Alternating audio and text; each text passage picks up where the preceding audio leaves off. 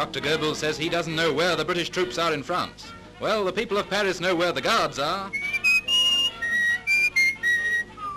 All right, you needn't say don't trust him, gentle maiden, because the girls don't anyway.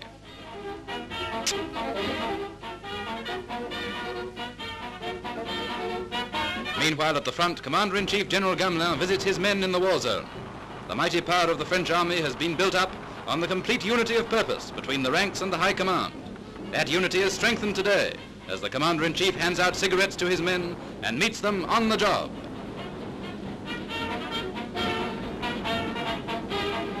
And again it's the unity between a leader and his men when General Prételat takes the salute at his last parade as commander of a French division.